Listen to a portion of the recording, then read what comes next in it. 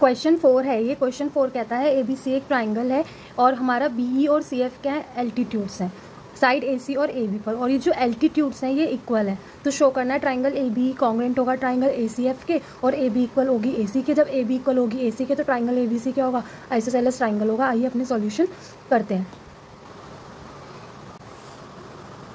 ये हमारा देखो क्या है, हमें गिवन की B E and C F क्या है? एल्टीट्यूड से इस तरीके से है कि बी ई इक्वल है सी एफ़ के, ठीक है? और हमें टू प्रूव करना है कि ए बी इक्वल होगी ए सी के, और triangle A B E congruent होगा ट्राइंगल ए सी एफ़ के, ठीक है? और ए ट्राइंगल ए बी सी क्या होगा? हमारा आइसोसेलस ट्राइंगल होगा।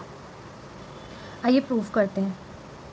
देखो, जो हमें ट्राइंगल कॉन्ग्रेंट करते हैं, पहले हम वही ट्राइंगल ले लेते हैं। In triangle A B E and triangle A C F अगर आप ए बी ई की बात करो तो ए बी ई में ये वाला जो एंगल है ठीक है?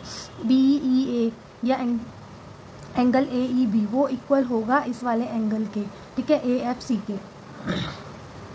लीच नाइन्टी डिग्री क्योंकि ये एल्टीट्यूड्स है ठीक है? दूसरा हमारा जो ये वाला एंगल होगा ठीक? ये होगा कॉमन तो हमारा एंगल ए दोनों में आ रहा है एंगल ए एंगल ए क्या होगा?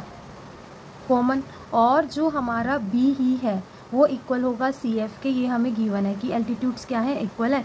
तो triangle A B E congruent होगा ट्राइंगल ए सी एफ़ के by angle angle side criteria और जब इक्वल होगा तो देखो, इस ट्राइंगल में आ रही है ए बी और ए एफ़ सी में आ रही है ए सी तो ए बी इक्वल होगी ए सी के by C P C T तो ट्राइंगल ए बी सी क्या हो जाएगा? एक आइसोसेलस ट्राइंगल हो जाएगा। और यही मुझे क्या करना था? प्रूफ तो हैंस प्रूफ होप आपको वीडियो अच्छी लगी हो तो चैनल को सब्सक्राइब ज़रूर करें.